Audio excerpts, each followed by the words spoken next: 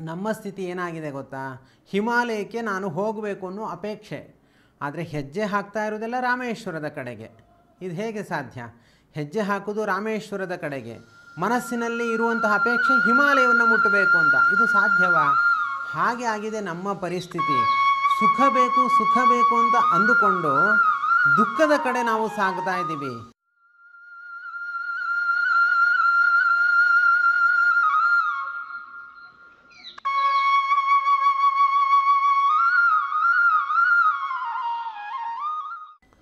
ಶ್ರೀಕೃಷ್ಣಾಯ ನಮಃ ಶ್ರೀ ಗುರುಭ್ಯೋ ನಮಃ. ಪೂಜ್ಯಾಯ ರಾಘವೇಂದ್ರಾಯ, ಸತ್ಯಧರ್ಮರತಾಯ ಚ ಭಜತಾಂ ಕಲ್ಪವೃಕ್ಷಾಯ.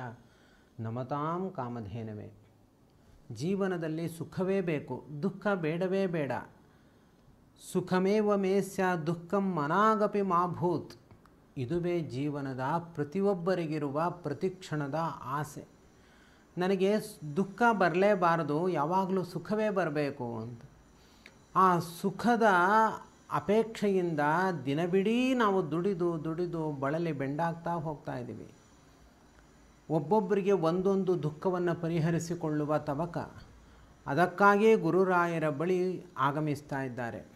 ಭಗವಂತ ಎಲ್ಲರಿಗೂ ಕೂಡ ಒಂದೇ ರೀತಿಯಾದ ಸುಖವನ್ನು ಕೊಡೋದಿಲ್ಲ. ಒಬ್ಬೊಬ್ಬರಿಗೆ ಒಂದೊಂದು ಬಗೆಯ ಸುಖಗಳನ್ನು ಕೊಡ್ತಾನೆ, ಒಂದೊಂದು ಬಗೆಯ ದುಃಖಗಳನ್ನು ಕೊಡ್ತಾನೆ. ಪ್ರತಿಯೊಂದು ಸುಖಗಳಲ್ಲಿಯೂ ವೈಭ ವಿಭಿನ್ನತೆ ಇದೆ. ಪ್ರತಿಯೊಂದು ದುಃಖಗಳಲ್ಲಿಯೂ ಕೂಡ ವಿಭಿನ್ನತೆ ಇದೆ. ಹೌದು, ಕೆಲವರಿಗೆ ಮಕ್ಕಳಾಗದೇ ಇರುವಂತಹ ದುಃಖ, ಕೆಲವರಿಗೆ ಮದುವೆ ಆಗದೇ ಇರುವಂತಹ ದುಃಖ, ಕೆಲವರಿಗೆ ಮನೆ ಇಲ್ಲ ಅನ್ನುವಂತಹ ದುಃಖ, ಇನ್ನು ಕೆಲವರಿಗೆ ಕೆಲಸ ಇಲ್ಲ ಅನ್ನುವಂತಹ ದುಃಖ, ಅಥವಾ ರೋಗ ರುಜಿನಗಳ ಬಾಧೆ, ಅಥವಾ ಮಾನಸಿಕ ಸಮಸ್ಯೆಗಳು, ಹೀಗೆ ಒಂದಲ್ಲ ಎರಡಲ್ಲ, ಈ ಸಂಸಾರದಲ್ಲಿ ಬಹು ವಿಧವಾದ ದುಃಖಗಳಿವೆ. ಹಾಗಿದ್ದರೆ ನಾವು ಈ ದುಃಖವನ್ನೆಲ್ಲ ಮೀರಿ ಸುಖದ ಕಡೆ ತೆರಳುವ ವಿಧಾನ ಹೇಗೆ ಎಂಬುದನ್ನು ಈಗ ನಾವು ತಿಳಿಯೋಣ, ಬನ್ನಿ. ಸಾಧಕರೇ, ಖಂಡಿತವಾಗಿಯೂ ಕೂಡ ಸುಖವೇ ನಮಗೆ ಬೇಕು. ಇದುವೇ ನಮ್ಮ ಜೀವನದ ಮುಖ್ಯ ಉದ್ದೇಶ ಆಗಬೇಕು. ಇದರಲ್ಲಿ ಸಂಶಯ ಇಲ್ಲ. ಸುಖಮೇವ ಮೇಸ್ಯ ದುಃಖಂ ಮನಾಗಪಿ ಮಾಭೂತ್ ಹೌದು, ಯಾಕೆ ಅಂದರೆ ಪುನಃ ಪುನಃ ನಾವು ದುಃಖದ ಕಡೆ ತೆರಳುತ್ತಾ ಹೋದರೆ ಮರಳಿಬಾರದ ಪ್ರಪಾತದಲ್ಲಿ ಬೀಳುವುದು ನಿಶ್ಚಯ. ಅದಕ್ಕೋಸ್ಕರ ಸುಖವನ್ನೇ ನಾವು ಅನುಭವಿಸಬೇಕು. ಎಲ್ಲ ಬಗೆಯ ಸುಖವು ನಮಗೆ ಇರಬೇಕು. ನಮಗೆ ದುಃಖ ಯಾವ ರೀತಿಯಲ್ಲೂ ಕೂಡ ನಮಗೆ ಬರಬಾರ್ದು. ಅಲ್ವಾ? ಹೌದು. ಇದನ್ನೇ ನಾವು ಮುಖ್ಯ ಉದ್ದೇಶವನ್ನಾಗಿ ಇಟ್ಕೊಳ್ಬೇಕು. ಅದಕ್ಕೋಸ್ಕರವೇ ನಾವು ಗುರುಗಳ ಸೇವೆಯನ್ನು ಮಾಡಬೇಕು. ಅದಕ್ಕೋಸ್ಕರವೇ ನಾವು ದೇವರ ಸೇವೆಯನ್ನು ಕೂಡ ಮಾಡಬೇಕು. ಹಾಗಿದ್ದರೆ ಆ ಸುಖ ಯಾವುದು? ಆ ಸುಖ ಎಲ್ಲಿಂದ ದೊರಕುತ್ತೆ ಅನ್ನೋದನ್ನು ಈಗ ವಿಶ್ಲೇಷಣೆ ಮಾಡೋಣ ಬನ್ನಿ. ಸುಖ ಬೇಕು ಅನ್ನೋದಂತೂ ನಿಶ್ಚಯ. ಇದರಲ್ಲಿ ಸಂಶಯ ಇಲ್ಲ. ಆ ಸುಖ ಯಾವುದರಿಂದ ಪಡೆದುಕೊಳ್ಬೇಕು ಅನ್ನೋದ್ರ ಬಗ್ಗೆ ಮಾತ್ರ ಈಗ ನಾವು ವಿಚಾರವನ್ನು ಮಾಡಬೇಕು. ಮದುವೆ ಆಗಿಲ್ಲ, ಮದುವೆ ಆಗಿಬಿಟ್ರೆ ನನಗೆ ಸುಖ ಸಿಗುತ್ತೆ ಅಂತ ನಿಮ್ಮಲ್ಲಿ ಭಾವನೆ ಇರಬಹುದು. ಆದರೆ ಮದುವೆ ಆದವ್ರನ್ನ ನೀವು ಕೇಳಿ, ಅಯ್ಯೋ, ಮದುವೆ ಆಗದೇ ಇದ್ದರೆ ಚೆನ್ನಾಗಿತ್ತು. ಈ ಮದುವೆ ಆದ್ದರಿಂದ ಏನು ಸುಖ ಅನ್ನುವಂಥದ್ದು ಏನಿಲ್ಲ ಅಂತ ಅವರೇ ಸ್ಪಷ್ಟವಾಗಿ ಹೇಳ್ತಾರೆ. ಮದುವೆ ಆದಾಗ ಬಂಧನ ಜಾಸ್ತಿ ಆಗುತ್ತೆ. ಅದರಿಂದ ದುಃಖಗಳು ಇನ್ನೂ ಹೆಚ್ಚು ಆಯಾಮದಲ್ಲಿ ತೆರೆದುಕೊಳ್ಳುತ್ತವೆ ಅದರಲ್ಲಿ ಸುಖ ಇಲ್ಲ. ಅದು ಜೀವನದ ಒಂದು ವ್ಯವಸ್ಥೆ ಅಷ್ಟೇ. ಜೀವನದ ನಾವೇ ಕಟ್ಟುಕೊಂಡಿರುವಂತಹ ಒಂದು ಬಂಧನ ಅಷ್ಟೇ ಅದು. ಇನ್ನು ಮಕ್ಕಳಿಲ್ಲ, ನನಗೆ ಮಕ್ಕಳಾಗ್ಬಿಟ್ರೆ ನನಗೆ ಸುಖ ಆಗುತ್ತೆ ಅಂತ ನಿಮ್ಗೆ ಅನ್ನಿಸ್ಬೋದು. ಮಕ್ಕಳು ಹತ್ರ ಹೋಗಿ ಕೇಳಿ, ಅವರು ಹೇಳ್ತಾರೆ, ಅಯ್ಯೋ, ಇವನು ಈ ಮಗು ಇಲ್ದೇ ಇದ್ದರೆ ನಾನು ಚೆನ್ನಾಗಿರ್ತಿತ್ತು ಅಂತ ಹೇಳ್ತಾರೆ. ಇನ್ನು ಕೆಲವರು ಬಾಯ್ಬಿಟ್ಟು ಹೇಳಲ್ಲ, ಆ ಮಗು ಮಕ್ಕಳಿಂದ ದುಃಖವನ್ನು ಅನುಭವಿಸಿ ಅನುಭವಿಸಿ ಬೆಂಡಾಗಿ ಹೋಗಿರ್ತಾರೆ. ಇನ್ನು ಕೆಲವರು ಮಕ್ಕಳ ಬಗ್ಗೆ ವಿಪರೀತವಾದ ಅಭಿಮಾನ ವ್ಯಾಮೋಹಕ್ಕೆ ಒಳಪಟ್ಟು, ಆ ಮಗುವಿನ, ಮಗುವನ್ನು ಬೈಯಲ್ಲ, ಅಂತರಂಗದಲ್ಲಿ ಅದಕ್ಕೋಸ್ಕರ ತಮ್ಮ ಆರೋಗ್ಯವನ್ನೆಲ್ಲ ಹಾಳು ಮಾಡಿಕೊಂಡಿರ್ತಾರೆ. ಯಾಕೆಂದರೆ ಅಭಿಮಾನದಿಂದ. ಬಾಯಿ ಬಿಟ್ಟು ಹೇಳಬೇಕು ಅಂತೇನೂ ಇಲ್ಲ. ಅವರ ಸ್ಥಿತಿಯನ್ನು ನೋಡಿದ್ರೆ ನಮಗೆ ಗೊತ್ತಾಗುತ್ತೆ ಮಕ್ಕಳಿಂದ ಇವರು ಎಷ್ಟು ನೊಂದು ಹೋಗಿದ್ದಾರೆ ಜೀವನದಲ್ಲಿ ಅಂತ. ಹೆಣ್ಣು ಮಕ್ಕಳಾದರೆ ಸಮಸ್ಯೆ, ಗಂಡು ಮಕ್ಕಳಾದರೆ ಸಮಸ್ಯೆ, ಯಾವ ರೀತಿಯಾದ ಮಕ್ಕಳಾದರೂ ಕೂಡ ಸಮಸ್ಯೆ. ಅಲ್ಲಿ ಸುಖ ಅನ್ನುವಂಥದ್ದು ಇಲ್ಲ. ಹೌದು, ನನಗೆ ಮನೆ ಇಲ್ಲ, ಮನೆ ಕಟ್ಟಿದ್ರೆ ನಾನು ಸುಖವಾಗಿರ್ತೀನಿ ಅಂತ ನಿಮಗೆ ಅನ್ನಿಸ್ಬೋದಲ್ವಾ? ಮನೆ ನೀವು ಕೊಂಡುಕೊಳ್ಳಿ, ಆಮೇಲೆ ಗೊತ್ತಾಗುತ್ತೆ ಅದರಲ್ಲಿರುವಂತಹ ದುಃಖಗಳು. ಅದರಲ್ಲಿ ಸುಖ ಇಲ್ಲ ಅದರಲ್ಲಿ ಏನು ಸಂಪೂರ್ಣವಾದ, ಪರಿಪೂರ್ಣವಾದ ಸುಖ ಇಲ್ಲ. ಅದರಲ್ಲಿ ಸ್ವಲ್ಪ ಸಮಸ್ಯೆ ಬಂದರೂ ಕೂಡ ನಾವು ಜೀವನದಲ್ಲಿ ಮತ್ತೆಂದೂ ಕೂಡ ಮೇಲೆ ಹೇಳಲಿಕ್ಕೆ ಸಾಧ್ಯ ಇಲ್ಲ. ಪೇಪರ್ ಡಾಕ್ಯುಮೆಂಟ್ಸಲ್ಲಿ ಪ್ರಾಬ್ಲಮ್ ಬರ್ಬೋದು, ಅಥವಾ ಮನೆಯಲ್ಲೇ ಇರುವಂತಹ ನೀರಿನಲ್ಲಿ ಪ್ರಾಬ್ಲಮ್ ಬರ್ಬೋದು, ಅಥವಾ ಮನೆಯಲ್ಲಿಯೇ ಆ ಜಾಗದ ಬಗ್ಗೆ ಸಮಸ್ಯೆ ಬರ್ಬೋದು, ಅಥವಾ ಆ ವಾತಾವರಣ ಬೇಡ ಅಂತ ಅನ್ನಿಸ್ಬೋದು, ಹೀಗೆ ಒಂದಲ್ಲ, ಎರಡಲ್ಲ. ಅಥವಾ ಈ ಮನೆಯನ್ನು ನಾವು ಹೊಂದಿರೋದ್ರಿಂದ ನಾನೇನು ಹೆಚ್ಚು ಸುಖವನ್ನು ಅನುಭವಿಸಿದಂತೆ ಆಗಲಿಲ್ಲ. ಮೊದಲು ನಾನು ಬಾಡಿಗೆ ಮನೆಯಲ್ಲಿದ್ದಾಗಲೇ ಸಂತೋಷವಾಗಿದ್ದೆ ಅಂತನೂ ಕೂಡ ನಮ್ಮ ಅನುಭವವೇ ಆಗಿದೆ. ಇನ್ನು ಕೆಲಸ ಸಿಕ್ಕಿಲ್ಲ ಆದ್ದರಿಂದ ನಾನು ಸುಖ ನನ್ನ ಕೆಲಸ ಸಿಕ್ಕ ಮೇಲೆ ನಾನು ಸುಖ ಪಡ್ತೀನಿ ಅಂತ ಅಂತೀರಾ? ಕೆಲಸಕ್ಕೆ ಹೋಗಿ ನೋಡಿ, ಅಲ್ಲಿ ಇನ್ನೊಬ್ಬರು ಕೈ ಕೆಳಗೆ ಕೆಲಸ ಮಾಡಬೇಕಾದ್ರೆ ನಿಮಗೆ ಸುಖ ಆಗುತ್ತಾ? ನೀವೇ ನೋಡಿ. ಇನ್ನು ಹಣ ಇಲ್ಲ, ಹಣ ಬಂತು ಅದರಿಂದ ಸುಖ ಸಿಗುತ್ತೆ ಅಂತ ನೀವು ಅಂತೀರಾ? ಇಲ್ಲ ಇಲ್ಲ. ಹಣ ಬಂದರೆ ದುಃಖ ಜಾಸ್ತಿ ಆಗುತ್ತೆ. ಹಣ ಬಂದರೆ ಮತ್ತಷ್ಟು ಹಣ ಬೇಕು ಅಂತ ಅನಿಸುತ್ತೆ. ಸುಖ ಸಿಗಲ್ಲ. ಯಾವುದರಲ್ಲಿ ಸುಖ ಇದೆ ಅಂತ ಅಂದರೆ ಮುಂದೆ ನಾನು ಸುಖ ಹೊಂದುತ್ತೀನಿ ಅನ್ನೋದರಲ್ಲಿ ಆ ಒಂದು ಕಲ್ಪನೆಯಲ್ಲಿ ಸುಖ ಇದೆ ಅಷ್ಟೇ ಹೊರತು ಆ ವಸ್ತುವನ್ನು ನಾವು ಪಡೆದ ಮೇಲೆ ಅಲ್ಲಿ ಸುಖ ಇಲ್ಲ. ಅಥವಾ ಹಿಂದಿನ ನಾನು ಹಿಂದಿನ ದುಃಖದ ಕೆಲವು ಪ್ರಸಂಗಗಳಿರುತ್ತೆ. ಅವತ್ತು ಆಕ್ಸಿಡೆಂಟ್ ಆಗಿತ್ತು. ನಾನು ನಾನು ಬಚಾವಾದೆ ನನಗೇನು ಆಗಲಿಲ್ಲ ಅಂತ ನೆನೆಸ್ಕೊಂಡು ಕೆಲವರು ಸುಖವನ್ನು ಅನುಭವಿಸ್ತಾ ಇರ್ತಾರೆ. ಹಿಂದಿನ ದುಃಖದ ಮರುಕೊಳಿಕೆಯಲ್ಲಿ ಸುಖ ಇದೆ ಅಥವಾ ಮುಂದೆ ಸುಖ ಸಿಗುತ್ತೆ ಅನ್ನೋದರಲ್ಲಿ ಸುಖ ಇದೆ. ಆ ಸುಖ ಯಾವತ್ತೂ ಸಿಗಲ್ಲ. ಒಂದು ಲಕ್ಷ ರೂಪಾಯಿ ನಿಮಗೆ ಹಣ ಬಂತು ಅಂತ ಇಟ್ಕೊಳ್ಳಿ. ನೀವು ಹತ್ತು ಲಕ್ಷ ರೂಪಾಯಿ ಹಣ ಬೇಕು ಅಂತ ಆಸೆ ಪಡ್ತೀರಾ? ಹತ್ತು ಲಕ್ಷ ರೂಪಾಯಿ ಹಣ ಬಂತು ಅಂತ ಇಟ್ಕೊಳ್ಳಿ. ಒಂದು ಕೋಟಿ ಹಣ ಬೇಕು ಅಂತ ಅಪೇಕ್ಷೆ ಪಡ್ತೀರಾ? ಖಂಡಿತ. ಇದು ಅಲ್ಲಿಗೆ ನಿಲ್ಲೋದಿಲ್ಲ.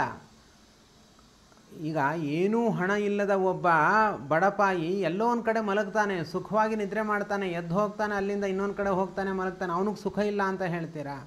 ಒಬ್ಬ ಶ್ರೀಮಂತ ಸುಖದ ಸುಪ್ಪತ್ತಿಯಲ್ಲಿ ಮ, ಮಲಗಿದ್ದಾನೆ, ಅವನಿಗೆ ಸುಖ ಇದೆ ಅಂತ ನಿರ್ಧಾರ ಮಾಡಲಿಕ್ಕೆ ಸಾಧ್ಯ ಇದೆಯಾ? ಆದ್ದರಿಂದ ಹಣದಲ್ಲಿ ಸುಖವಿಲ್ಲ, ಹೆಂಡತಿ ಮಕ್ಕಳಲ್ಲಿ ಸುಖವಿಲ್ಲ, ಮನೆಯಲ್ಲಿ ಸುಖವಿಲ್ಲ, ಕೆಲಸದಲ್ಲಿ ಸುಖವಿಲ್ಲ. ಸುಖ ಯಾವುದರಲ್ಲಿ ಇದೆ ಅನ್ನೋದನ್ನು ನಾವೀಗ ತಿಳಿದುಕೊಳ್ಳೋಣ. ಸುಖ ಯಾವುದರಲ್ಲಿ ಇದೆ ಅಂತಂದರೆ ದೇವರು ಒಂದು ಕಡೆ ಮಾತ್ರ ಸುಖವನ್ನು ಇಟ್ಟಿದ್ದಾನೆ. ಯಾವುದು ಅಂತಂದರೆ ಸದ್ಗುಣಗಳಲ್ಲಿ ಸುಖವನ್ನು ದೇವರು ಇಟ್ಟಿದ್ದಾನೆ. ಆ ಸದ್ಗುಣಗಳಲ್ಲಿ ಶ್ರೇಷ್ಠವಾದದ್ದು ಅಂದರೆ ಜ್ಞಾನ, ಭಕ್ತಿ ಮತ್ತು ವೈರಾಗ್ಯ. ಜ್ಞಾನ ಅಂದರೆ ದೇವರ ಬಗ್ಗೆ, ಗುರುಗಳ ಬಗ್ಗೆ ತಿಳಿದುಕೊಳ್ಳುವಂತಹ ವಿಚಾರಗಳು. ಅದನ್ನೇ ಜ್ಞಾನ ಅಂತ ಕರಿಬೇಕು. ಉಳಿದದ್ದನ್ನೆಲ್ಲ ನಾವು ಲೌಕಿಕ ವಿಷಯವನ್ನೆಲ್ಲ ಸ್ಕೂಲ್ ವಿದ್ಯೆ ಅವನ್ನೆಲ್ಲ ಜ್ಞಾನ ಅಂತ ಕರೆಯಬಾರದು ಆಯಿತಾ? ಇನ್ನು ಭಕ್ತಿ, ಗು, ಹರಿವಾಯು ಗುರುಗಳು ನಾವೇನು ಭಕ್ತಿ ಮಾಡ್ತೀವಿ, ಆವಾಗ ಒಂದು ಧ್ಯಾನಾವಸ್ಥೆಯಲ್ಲಿ ಒಂದು ಸುಖ ಸಿಗುತ್ತೆ. ಅದರಲ್ಲಿ ಸುಖ ಇದೆ. ಅಥವಾ ವೈರಾಗ್ಯ, ನನಗೇನು ಬೇಡ ಅಂತ ಪರಿತ್ಯಾಗ ಮಾಡ್ತಾ ಹೋಗುವಂಥದ್ದು. ಈಸಬೇಕು, ಇದ್ದು ಜಯಿಸಬೇಕು, ಹೇಸಿಗೆ ಸಂಸಾರದಲ್ಲಿ ಆಶಾ, ಲೇಷವು ಮಾಡದಂತೆ ಅಂತ ಹೇಳ್ತಾರಲ್ಲ ಹಾಗೆ ಸಂಸಾರದಲ್ಲಿ ಯಾವ ಅಟ್ಯಾಚ್ಮೆಂಟು ಇಲ್ಲದೇ ನಾವು ಬದುಕ್ತೀವಲ್ಲ, ಅದರಲ್ಲಿ ಸುಖ ಇದೆ. ಈ ಮೂರಲ್ಲಿ ದೇವರು ಸುಖ ಇಟ್ಟಿದ್ದಾನೆ, ಇನ್ನೂ ಕೆಲವು ಸದ್ಗುಣಗಳಲ್ಲಿ ಸುಖವನ್ನು ದೇವರು ಇಟ್ಟಿದ್ದಾನೆ. ಆದ್ದರಿಂದ ನಾವು ಸುಖ ಬೇಕು ಅಂತ ಹಂಬಲಿಸಿದ್ರೆ ನಾವು ಸುಖದ ಕಡೆ ಧಾವಿಸಲೇಬೇಕು, ಇದರಲ್ಲಿ ಸಂಶಯ ಇಲ್ಲ. ಮೂರ್ಖರಾಗ್ಬಿಡ್ತೀವಿ. ಸುಖ ಬೇಡ, ನಂಗೆ ದುಃಖವನ್ನೇ ನಾನು ಅನುಭವಿಸ್ತೀವಿ ಅಂತಂದ್ರೆ ನಾವು ಮೂರ್ಖರಾಗ್ತೀವಿ. ನಾವು ಬುದ್ಧಿವಂತರು ಅಂತ ಅನ್ನಿಸ್ಕೊಳ್ಬೇಕಾದ್ರೆ ನಾವು ಸುಖವನ್ನು ಹಂಬಲಿಸಲೇಬೇಕು. ಸುಖ ಎಲ್ಲಿದೆ ಅನ್ನೋದನ್ನು ಮೊದಲು ನಾವು ಅನ್ವೇಷಣೆ ಮಾಡಬೇಕು ಅಲ್ವಾ? ಈಗ ನಮ್ಮ ಸ್ಥಿತಿ ಏನಾಗಿದೆ ಗೊತ್ತಾ? ಹಿಮಾಲಯಕ್ಕೆ ನಾನು ಹೋಗಬೇಕು ಅನ್ನೋ ಅಪೇಕ್ಷೆ. ಆದರೆ ಹೆಜ್ಜೆ ಹಾಕ್ತಾ ಇರೋದೆಲ್ಲ ರಾಮೇಶ್ವರದ ಕಡೆಗೆ. ಇದು ಹೇಗೆ ಸಾಧ್ಯ? ಹೆಜ್ಜೆ ಹಾಕೋದು ರಾಮೇಶ್ವರದ ಕಡೆಗೆ. ಮನಸ್ಸಿನಲ್ಲಿ ಇರುವಂತಹ ಅಪೇಕ್ಷೆ ಹಿಮಾಲಯವನ್ನು ಮುಟ್ಟಬೇಕು ಅಂತ. ಇದು ಸಾಧ್ಯವಾ?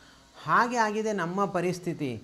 ಸುಖ ಬೇಕು ಸುಖ ಬೇಕು ಅಂತ ಅಂದುಕೊಂಡು ದುಃಖದ ಕಡೆ ನಾವು ಸಾಗ್ತಾ ಇದ್ದೀವಿ. ಈ ಸಂಸಾರದಲ್ಲಿ ಇರುವಂತಹ ಇವೆಲ್ಲವೂ ಕೂಡ ಕೆಲಸ, ಬೊಗಸ, ಆರೋಗ್ಯ ಅಥವಾ ಹಣ, ದುಡ್ಡು, ದುಗ್ಗಾಣಿ ಇವೆಲ್ಲವೂ ಕೂಡ ದುಃಖ. ಇದರೆಲ್ಲದರಲ್ಲೂ ದುಃಖವನ್ನೇ ದೇವರು ಇಟ್ಟು ಕಳಿಸಿದ್ದಾನೆ ಭೂಲೋಕಕ್ಕೆ. ಇದರಲ್ಲಿ ಸುಖಗಳಿಲ್ಲ. ಇದ್ಯಾವುದರಲ್ಲೂ ಕೂಡ ಸುಖ ಇಲ್ಲ.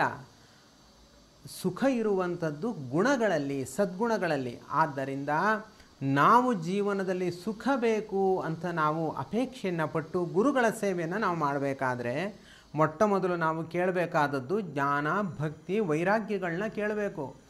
ಆಮೇಲೆ ಅನಿವಾರ್ಯವಾದ ಕೆಲವೊಂದು ವಿಚಾರಗಳನ್ನು ಕೇಳಬೇಕು. ಹೆಂಡತಿ, ಮಕ್ಕಳು, ಕೆಲಸ ಇವುಗಳನ್ನು ಕೂಡ ಕೇಳಿ ಬೇಡ ಅಂತಲ್ಲ. ಯಾಕೆ ಕೇಳಬೇಕು ಅಂದರೆ ಜ್ಞಾನ ಭಕ್ತಿ ವೈರಾಗ್ಯ ಇವುಗಳು ಸುಖ ಸಾಧನವಾಗಿವೆ. ಅದು ಬೇಕು. ಅದಕ್ಕೆ ಇವೆಲ್ಲ ಪ್ರತಿಬಂಧಕ ಆಗ್ತಾ ಇದೆ ನನಗೆ. ಇವು ಸಿಗದೆ ನನಗೆ ಆ ಜ್ಞಾನ ಭಕ್ತಿ ವೈರಾಗ್ಯಗಳನ್ನು ಹೊಂದಲಿಕ್ಕೆ ಸಾಧ್ಯವಾಗ್ತಾ ಇಲ್ಲ. ಅದಕ್ಕೋಸ್ಕರ ದೇವರೇ ಅಥವಾ ಗುರುಗಳೇ, ನೀವು ನನಗೆ ಈ ಸಲಕರಣೆಗಳನ್ನ ಕೊಡಿ ಅಂತ ಅಷ್ಟೇ ಪ್ರಾರ್ಥನೆಯನ್ನು ಸಲ್ಲಿಸಬೇಕು. ಆಗ ಗುರುಗಳಿಗೆ ಸಂಪೂರ್ಣ ಸಂತೋಷ ಆಗುತ್ತೆ. ಇವನು ನಿಜವಾಗಿಯೂ ವಿವೇಕಿಯಾಗಿದ್ದಾನೆ. ನಿಜವಾದ ಹಂಬಲ ಇವನಲ್ಲಿದೆ. ಇವನು ಇವನಿಗೆ ನಾನು ಏನಾದರೂ ಕೊಟ್ಟರೆ ಅದು ಅನಂತ ಫಲದಾಯಕವಾಗುತ್ತೆ ಅಂತ ಗುರುಗಳು ಸಂತೋಷಪಟ್ಟು ನಮಗೆ ನಮ್ಮ ಅಪೇಕ್ಷೆಯನ್ನು ಈಡೇರಿಸ್ತಾರೆ. ನಮಗಿದ್ಯಾವ ಪರಿವೂ ಇಲ್ಲದೆ, ಓ, ನನಗೆ ಇದರಲ್ಲೇ ಸುಖ ಇದೆ, ನನಗೆ ಕೆಲಸ ಬೇಕು ಗುರುಗಳೇ, ನನಗೆ ಪ್ರಮೋಷನ್ ಬೇಕು, ಅದಕ್ಕೋಸ್ಕರ ನಾನು ಸೇವೆ ಮಾಡ್ತೀನಿ ಅಂದರೆ ಇವನೊಬ್ಬ ಮೂರ್ಖ, ಇವನೇನೋ ಕೇಳ್ತಿದ್ದಾನೆ ಕೊಡೋಣ ಅಂತ ಕೊಟ್ಟು ಕಳಿಸ್ತಾರೆ ನಿಮಗೆ ಸುಖ ಸಿಗಲ್ಲ. ಮತ್ತೆ ನೀವು ಗುರುಗಳನ್ನು ಬಿಟ್ಟು ಇನ್ನೊಬ್ಬರು ಗುರುಗಳ ಹತ್ರ ಹೋಗುವಂತಹ ಪರಿಸ್ಥಿತಿ ಬರುತ್ತೆ. ಅಲ್ವಾ? ಆದ್ದರಿಂದ ಸುಖ ಸುಖ ಬೇಕು ಜೀವನದಲ್ಲಿ. ಸುಖಮೇವ ಮೇ ಸ್ಯಾತ್. ಆ ಸುಖ ಯಾವುದರಲ್ಲಿ ಇದೆ ಅಂತಂದರೆ ಸಂಸಾರದಲ್ಲಿ ಅದು ಕ್ಷಣಿಕ ಸುಖ. ಸುಖಸ್ಯಾನಂತರಂ ದುಃಖಂ, ದುಃಖಸ್ಯಾನಂತರಂ ಸುಖಂ ಇತಿ ಸರ್ವತ್ರ ನಿಯಮ. ಪಂಚಕಷ್ಟೇಪಿ ತತ್ಸದ, ಪಂಚಕಷ್ಟೇತಿ ತತ್ಸದ. ಈ ಜೀವನದಲ್ಲಿ ಸುಖ, ಸುಖದ ನಂತರ ದುಃಖ, ದುಃಖದ ನಂತರ ಸುಖ, ಇದು ಸಂಸಾರ ಚಕ್ರ. ಮತ್ತು ಪಂಚಕಷ್ಟಗಳು ನಿರಂತರವಾಗಿ ಪ್ರತಿಯೊಬ್ಬರು ಅನುಭವಿಸಲೇಬೇಕು ಅನ್ನೋ ಸಾತ್ವಿಕ ಆಗಲಿ, ರಾಜಸ ಆಗಲಿ, ತಾಮಸ ಆಗಲಿ, ಆ ಪಂಚ ಕಷ್ಟಗಳನ್ನು ನಿರಂತರವಾಗಿಯೂ ಕೂಡ ಪ್ರತಿಯೊಬ್ಬರು ಅನುಭವಿಸ್ತಾಲೇ ಇರಬೇಕು. ಹೀಗೆ ನಾವು ಸುಖ, ದುಃಖಗಳ ಸಂಸಾರ ಚಕ್ರ ಸಂಸಾರ ಚಕ್ರ ಎರಡು. ಒಂದು ಸುಖ ಒಂದು ಸುಖ ಇನ್ನೊಂದು ದುಃಖ ಅಂತ ಎರಡು ಚಕ್ರದ ಹೆಸರು. ಆ ಚಕ್ರವನ್ನು ಸರಿಯಾಗಿ ಉಪಯೋಗಿಸಿಕೊಂಡು ನಾವು ಮೇಲೆ ಸವಾರಿ ಮಾಡಿದ್ರೆ ನಾವು ಪರಾನಂದದ ಕಡೆ, ಮೋಕ್ಷದ ಕಡೆ ನಾವು ಧಾವಿಸ್ತೀವಿ. ಇಲ್ಲಾಂದರೆ ಚಕ್ರಕ್ಕೆ ನಾವು ಸಿಲುಕಿಕೊಂಡು ಕೆಳಗಡೆ ಬಿದ್ದು ಹಾಳಾಗಿ ಹೋಗ್ತೀವಿ. ಸಂಸಾರ ಚಕ್ರವನ್ನು, ಸಂಸಾರ ಚಕ್ರಂ ಪರಿವರ್ತಯೇದ್ಯತ ಅಂತ ಏನು ಹೇಳ್ತಾನಲ್ಲ, ಹಾಗೆ ಸಂಸಾರ ಚಕ್ರವನ್ನು ನಾವು ಮೋಕ್ಷದ ಕಡೆ ನಾವು ಕರೆದುಕೊಂಡು ಹೋಗಬೇಕು. ಈಗಾಗಲೇ ನಾನು ಹೇಳಿದಂತೆ ಸದ್ಗುಣಗಳಲ್ಲಿ ಇರುವಂತಹ ಸಂಸಾರಾವಸ್ಥೆಯಲ್ಲಿ ಸಿಗುವಂತಹ ಸುಖವೂ ಕೂಡ ಕ್ಷಣಿಕ. ಇದರಲ್ಲೇ ನೀವು ತೃಪ್ತಿಯನ್ನು ಹೊಂದಬೇಡಿ. ಪರಸುಖದ ಕಡೆ ನಾವು ಧಾವಿಸಬೇಕು. ಮುಂದೆಂದೂ ನನಗೆ ದುಃಖವೇ ಬೇಡ, ಸುಖವೇ ಬೇಕು ಅನ್ನೋ ಅಪೇಕ್ಷೆ ಇತ್ತು ಅಂತಂದರೆ ಗುರುಗಳ ದರ್ಶನ ಆಗಬೇಕು. ಗುರುಗಳ ದರ್ಶನದಿಂದ ದೇವರ ದರ್ಶನ ಆಗಬೇಕು, ದೇವರ ದರ್ಶನ ಆಯಿತು ಅಂದ ಮೇಲೆ ನಮಗೆ ದುಃಖವು ಲವಲೇಶವು ಕೂಡ ನಮಗೆ ಬರಲಿಕ್ಕೆ ಸಾಧ್ಯವೇ ಇಲ್ಲ. ಆವಾಗ ಅನಂತವಾದ ಸುಖವನ್ನು ನಾವು ಹೊಂದುತ್ತೀವಿ. ಸಾಧಕರೇ, ಇಲ್ಲಿಯ ತನಕ ತಾವು ಕೇಳಿದಂತೆ ಇನ್ನು ಮುಂದೆ ಗುರುರಾಯರ ಬಳಿ ತಾವು ತೆರಳಿ ಏನಾದರೂ ಪ್ರಾರ್ಥನೆಯನ್ನು ಮಾಡಬೇಕಾದ್ರೆ ಇದೇ ರೀತಿಯಲ್ಲಿ ನೀವು ಪ್ರಾರ್ಥನೆಯನ್ನು ಸಲ್ಲಿಸಬೇಕು. ಜ್ಞಾನ ಭಕ್ತಿ ವೈರಾಗ್ಯ, ಇವುಗಳೇ ನನಗೆ ಬೇಕು. ಇವಕ್ಕೆ ಪೂರಕವಾಗಿ ನನಗೆ ಸಾಂಸಾರಿಕವಾದ ಈ ತಾಪತ್ರಯಗಳನ್ನು ತಾವು ಪರಿಹರಿಸಬೇಕು. ಇದೇ ರೀತಿಯಲ್ಲಿ ತಾವು ಪ್ರಾರ್ಥನೆಯನ್ನು ಸಲ್ಲಿಸ್ತೀರಿ. ಇದರ ಬಗ್ಗೆ ನನಗೆ ಪರಮ ವಿಶ್ವಾಸ ಇದೆ ಎಂಬುದಾಗಿ ಹೇಳ್ತಾ, ಇಂತಹ ಶ್ರೇಷ್ಠವಾದ ತತ್ವಜ್ಞಾನ ನನಗೆ ಬೇಕು ಅನ್ನೋ ಉದ್ದೇಶದಿಂದಲೇ ಪರಿಮಳ ಗ್ರಂಥವನ್ನು ನಾನು ನನ್ನ ಮನೆಗೆ ತರಿಸಿಕೊಂಡು ಪೂಜೆಯನ್ನು ಸಲ್ಲಿಸಿದ್ದೇನೆ ಎನ್ನುವುದಾಗಿ ನೀವು ಸಂಕಲ್ಪವನ್ನು ಮಾಡಿ ಗುರುರಾಯರ ಸಾಧನೆಯಲ್ಲಿ ನೀವು ಮುಂದೆ ಅನುಗ್ರಹಕ್ಕೋಸ್ಕರ ನೀವು ಮುಂದುವರೆಯಿರಿ ಎಂಬುದಾಗಿ ಹೇಳ್ತಾ ಎಸ್ ಸರ್ವಗುಣ ಸಂಪೂರ್ಣ ಸರ್ವದೋಷ ವಿವರ್ಜಿತ ಪ್ರಿಯತಾಂ ಪ್ರೀತೆ ಬಾಲಂ ವಿಷ್ಣುರ್ಮೇ ಪರಮಸ್ವರುತು ಶ್ರೀಕೃಷ್ಣಾರ್ಪಣಮಸ್ತು.